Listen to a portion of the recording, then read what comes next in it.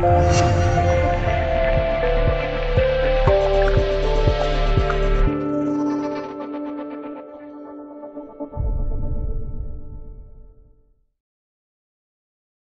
二战的苏德战丁中，交战双方都投入了成千上万辆坦克进行厮杀。虽然苏联由于准备不足，在战争初期几乎是节节败退，不过在局部的战场上，苏联的 KV 幺系列重型坦克却造就了一段段辉煌的传奇。可以说，其在苏德战争前期的重要性一点不次于苏联另一款传奇的 T 三四坦克。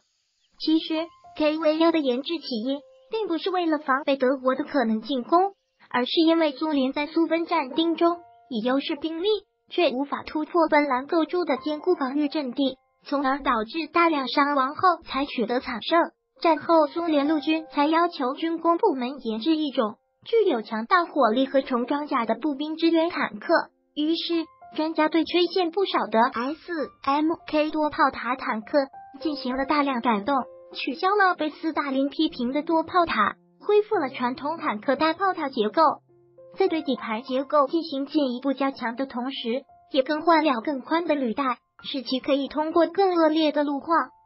此外，还对车身进行了一定程度的缩小，并去掉了一些非装甲防护的多余设计。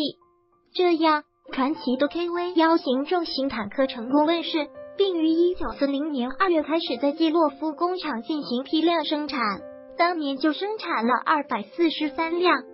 但是由于 KV 幺此时刚刚进入量产，苏联又急于在实战中测试这种新型重型坦克的威力，于是多辆 KV 幺原型车和 T 幺零零 S M K 坦克一道被派往了芬兰战场。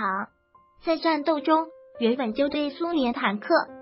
缺乏直接攻击手段的芬兰军队，对于装甲厚度远超同期坦克一倍的 KV 幺坦克感到束手无策。